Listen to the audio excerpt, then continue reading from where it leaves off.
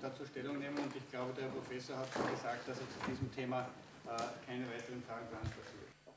Ich bin mir durchaus bewusst, welch starken Eindruck die Ereignisse der letzten Tage auf Sie alle gemacht haben müssen. Ich kann mir gut vorstellen, wie schockiert und beängstigend der Gedanke ist, dass so etwas überhaupt möglich ist.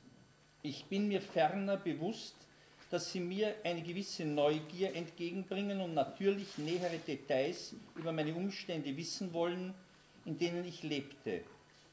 Ich möchte Ihnen im Voraus jedoch versichern, dass ich keinerlei Fragen über intime oder persönliche Details beantworten will und werde. Verständlich, auch wir haben von diesen Gerüchten abermals gehört Mein Raum war hinreichend eingerichtet. Es ist mein Raum gewesen und nicht für die Öffentlichkeit zum Herzeigen bestimmt. Der Lebensalltag, dieser fand geregelt statt, meist ein gemeinsames Frühstück. Er hat ja meist nicht gearbeitet. Hausarbeit, Lesen, Fernsehen, Reden, Kochen, das war es, jahrelang. Alles mit Angst vor der Einsamkeit verbunden. Zur Beziehung, er war nicht mein Gebieter, ich war gleich stark, aber, symbolisch gesprochen, er hat mich auf Händen getragen und mit den Füßen getreten.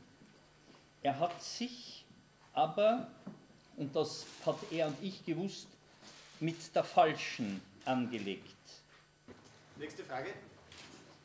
Würde der Standard die Hinweis der Bevölkerung in den Wochen Bedanken möchte ich mich aber auch bei allen Menschen, die an meinem Schicksal so sehr Anteil nehmen. Bitte lasst mich in der nächsten Zeit noch in Ruhe. Dr. Friedrich wird es mit dieser Erklärung erklären. Viele Leute kümmern sich um mich. Lasst mir Zeit, bis ich selbst berichten kann. Natascha Kampusch. und natürlich jetzt verstärkt mit den Kollegen aus dem Ausland, sprich DNA und so weiter,